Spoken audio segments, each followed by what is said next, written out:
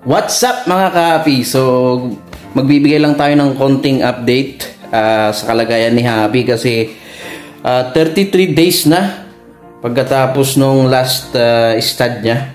So, titignan natin kung ano bang itsura ng uh, 33 days ng buntis na aso. Ano na nga ba yung mga pagbabago?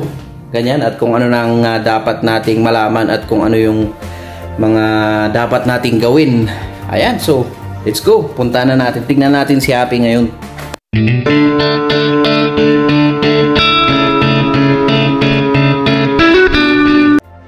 Pero tignan muna natin dito kay Google ano kung ano yung uh, mga sinyalis para malaman natin kung buntis ang aso. So sabi dito, a pregnant dog doesn't typically show physical signs of pregnancy until about day 40 of pregnancy.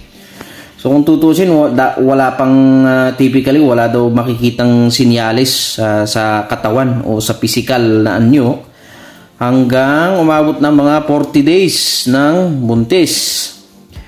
Okay, tapos sabi dito, around this time, the belly will begin to noticeably expand. Ayan, so lalaki daw yung chan.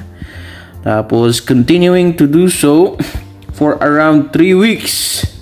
Ayan, so hanggang sa uh, hanggang sa next na tatlong linggo. Ayan, so the nipples will also enlarge. So lalaki yung mga nipples. And in the final week of pregnancy, they may leak milk. Ayan, so ayun. Okay, so punta na natin sa Happy. Uh, tignan natin kung anong itsura niya. So bali pala, uh, kinulong ko siya kasi yun ang sabi sa akin na dapat uh, pagbuntis ang aso eh dapat nang i-isolate para hindi makunan tsaka para mabawasan yung kalikutan kasi dapat malimitahan daw ang kanya mga physical activities ayun so kung makikita nyo yan, ginzoom ko na yung ano niya. Kung titignan niyo yung mga nipples niya, talagang uh, lumaki na talaga. So, tulog pa siya. Ayaw kong gisingin at istorbohin. Pero ang napapansin ko rin talaga, oh, medyo talagang madalas na siyang matulog. Tapos, ang isa pa na napansin ko lang sa behavior. So, kung baga sa physical, wala pa masyado ano, pero sa behavior, talagang uh, yung pagkain niya, ang napansin ko lang, uh, hindi na niya inuubos lahat.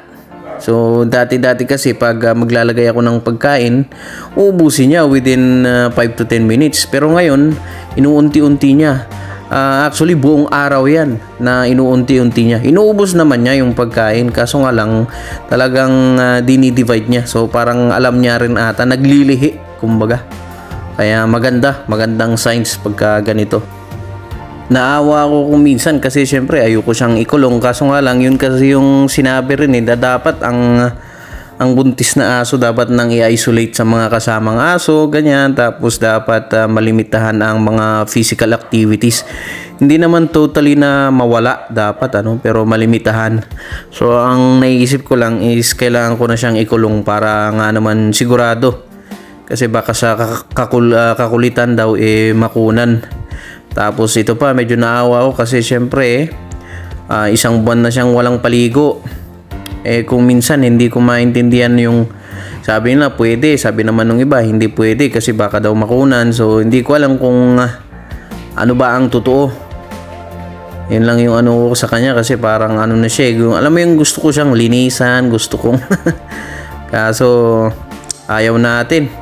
Minsan hindi kasi natin ma-confirm kasi yung sinabing pwede, sabi ng iba hindi pwede. Tapos mga veterina, mga uh, veterinaryo pa yung nagsasabi. So sila sila hindi nagkakasundo. So yun.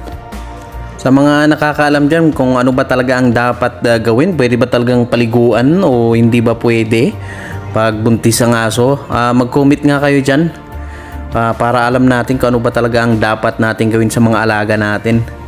Well, uh, ito lang, nagbigay lang ako ng konting update. At uh, syempre, kung bago pa lang kayo sa aking channel, do not forget to like, share, comment, subscribe na rin uh, mga kahapi at uh, maraming salamat always sa panunood at sa mga suporta. At marami pa tayong videos na i-upload soon. Uh, kaya magandang araw po sa ating lahat. God bless.